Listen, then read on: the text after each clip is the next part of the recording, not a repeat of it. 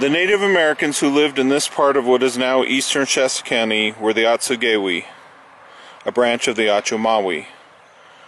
When Europeans began arriving in larger numbers in the early to mid 1800s, this spot became important to them as well, as several separate and overlapping trails came through and met here.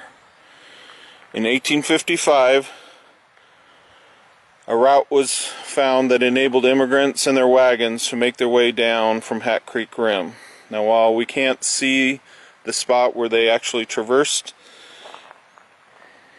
it was up on this ridge you see in the distance and uh, off to the left. The Nobles Immigrant Trail was subsequently rerouted through Hat Creek Station for those traveling from and to Nevada. The eastern branch of the California Oregon Trail, as well as the Lockhart Road, also passed through here, but in a more south to north direction, connecting the Sacramento Valley to Yreka by way of Pit River. Shortly thereafter, the California Oregon Stage Company ran a stage line from Red Bluff to Yreka through here. As one might expect, Hat Creek Station draws its name from the waterway of the same name that begins near Lassen Peak and flows northward to eventually empty into the Pit River at Lake Britton. The name Hat Creek came from an episode where Drury Harrell one of the men surveying a route through the area in 1852 lost his hat in the swollen currents while fording the creek. In its beginning, Hat Creek Station played several roles. It was one of the many stopping places on the long journey to California and a new life where immigrants could refresh their animals, buy supplies, and rest if they wanted. It also served as a station where the stage company kept horses and supplies, and travelers stopped for lodging and food. When clashes and hostilities arose between white travelers and settlers and the Native Americans who lived in the area, a detachment of soldiers was sent to intervene. Thus, it temporarily became a military station the third such post in Shasta County after Fort Redding and Fort Crook.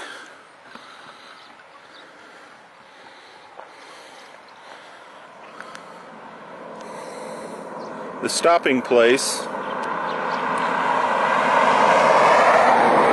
the stage station, and the military post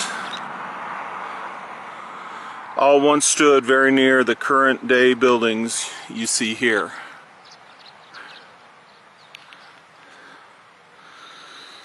A sign and plaque placed to commemorate the history of this site are located on the far side of the first red building here.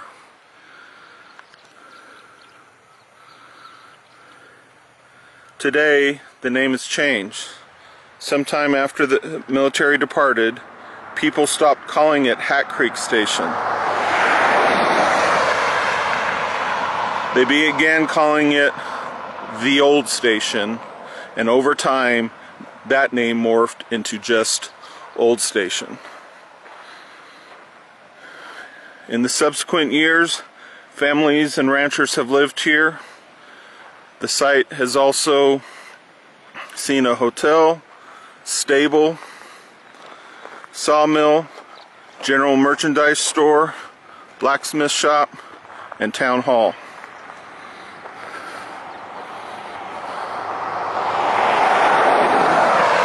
Currently, there's a gas station, restaurant, and store amid the buildings that line highway that follows the same general route as those trails from 170 years ago. While it hasn't grown much in size since then, its impact still extends far and wide